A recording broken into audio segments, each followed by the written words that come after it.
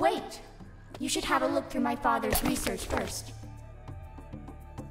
My real father was a scientist. He was working on this mixture when he disappeared.